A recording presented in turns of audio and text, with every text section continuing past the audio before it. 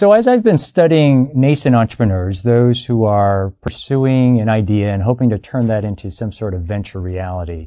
uh, I, I realized that as as humans, we are social beings, and as a result, we're in, interacting with one another uh, on, a, on a regular basis. And entrepreneurs are not alone. In fact, almost nine out of 10 entrepreneurs have some sort of connection with, with others as they start their businesses. And my question that, that uh, motivated me to pursue this piece of research is uh, under what conditions and to what extent do,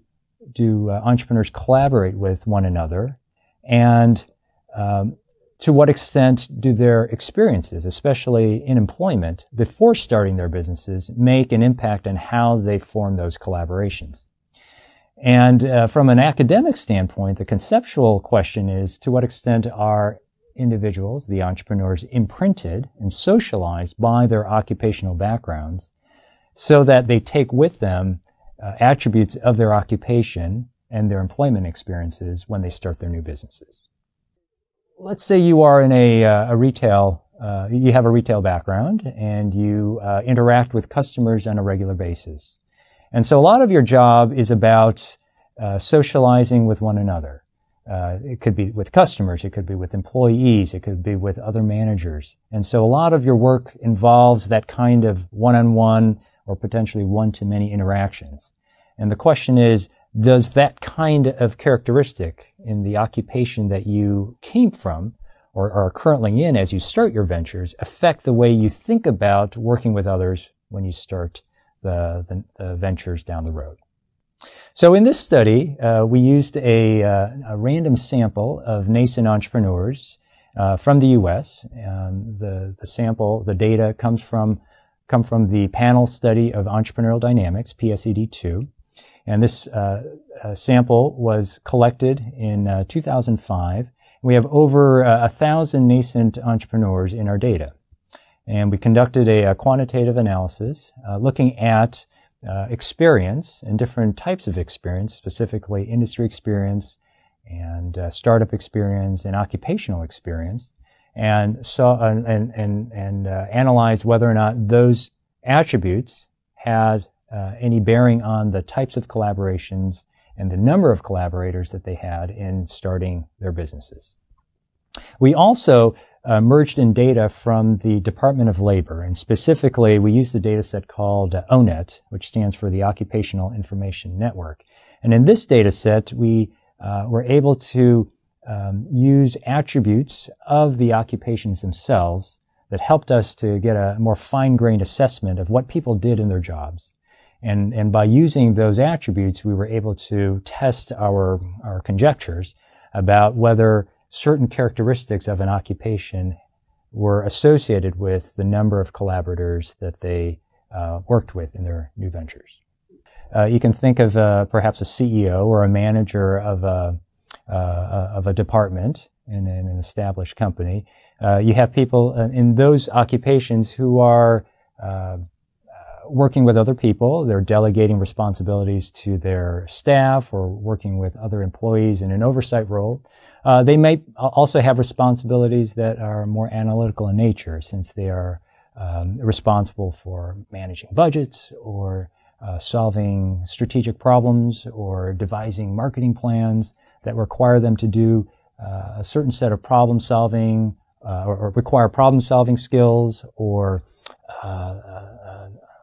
uh, using their analytical uh, backgrounds to um, to uh, uh, conduct the work that is expected of their, their responsibilities. So the the highlights of what we found are as follows: first,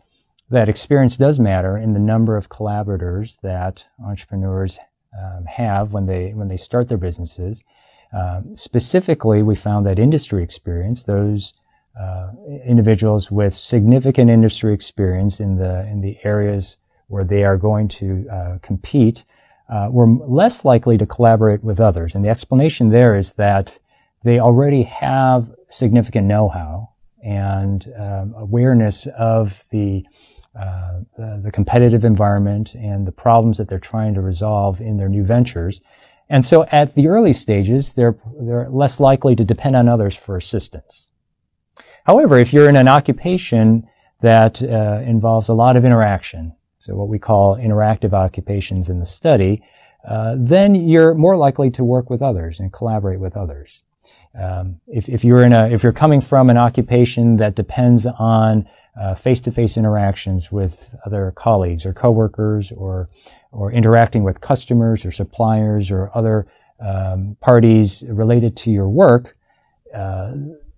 you're you're carrying those kinds of characteristics into the new ventures that you're starting and replicating and mimicking those kinds of behaviors. Uh, and then lastly, what we found is that uh, in uh, if, if someone has an occupation that has both interactive components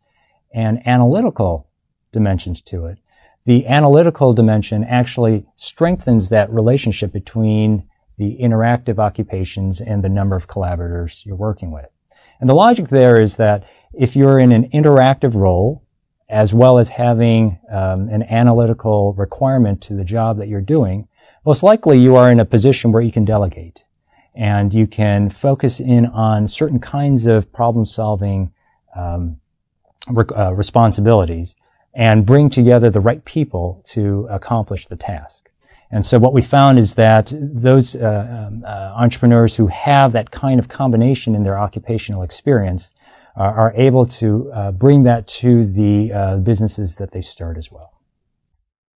As uh, the data show, and as many studies have revealed, entrepreneurs uh, will work for somebody else before starting and venturing out on their own. Here in the U.S., uh, the the uh, average age is you know in the in the 40s when people start their first ventures. And so that means there's considerable time working for somebody else. And the question is, if you have a, uh, a desire to start a business at some point in the future, and you want to prepare yourself to have the right types of experiences to succeed uh, when you uh, eventually set out for yourself, consider uh, working in environments that allow you to gain the kinds of uh, experiences that are most valuable. And so, related to our study, uh, that might mean working in environments that are interactive where you have to learn how to work together in a collaborative manner, teamwork, and other kinds of people skills. It could also mean working in a, uh, a large company with a rotational program that allows you to uh, experience different aspects of a, of a uh, company and the different kinds of ways that you can solve problems and to gain the analytical skills that would be helpful when you actually launch your ventures. Uh, based on our research, uh, it's it's vital that we really understand how uh, people uh, develop their experience, especially employment experience, prior to starting ventures on their own. And because most people work for somebody else before working for their uh, on, uh, for themselves, people can be in a position to consider the types of jobs that they want to pursue.